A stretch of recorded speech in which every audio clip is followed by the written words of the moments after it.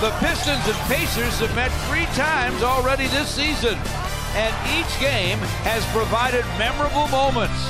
Tonight, the Pistons look to win the series for the first time in a decade as Indiana comes calling for the final time this season. Live from Little Caesars Arena, it's the Pistons and the Pacers. Reggie to forecourt. Reggie Jackson gets an Andre screen, dishes to Reggie Bullock, sideline Tobias, and he tripled. Hello, Pistons up 5 0 out of the gate. You may remember last game, Tobias sort of broke out of a mini slump. Went over 20 for the first time in quite some while, helped the Pistons in their four point win over the Knicks. Alley Andre throws it down. Count that baby and a foul. Tobias with a sideline triple try. Bang! It's through for three. Tobias with a shot fake. And now a step up gun, and that goes. Tobias with 13. And we still have 4 and 36 to play in the first. Oladipo stop and go to the rim. Missed the bunny. Sort of got his angle shut down a little bit. Tobias Harris, folks. Another three for Tobias. 16.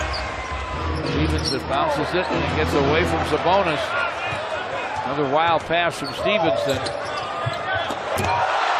Stanley Johnson gets Tobias an alley-oop dunk. Tobias Harris is six for six. Ish with the drive, gets it up off the glass. No, Moreland couldn't tap it, but he does pull it down. Topside Tobias, he fires, he fills it. What else would you expect? Tobias Harris is getting himself close to a standing O here. Early on, he has 21 points already. Stephenson in the basket, wild reverse, missed it. Here come the Pistons.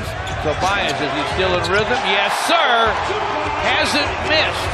Has not missed. You know, he is now eight for eight. He's scored two dozen. His career high is 34, and I would be very disappointed if he didn't uh, uh, overtake that tonight. Tobias from the paint connects again. He's only missed once. He has scored 26. Pacers don't have time to answer.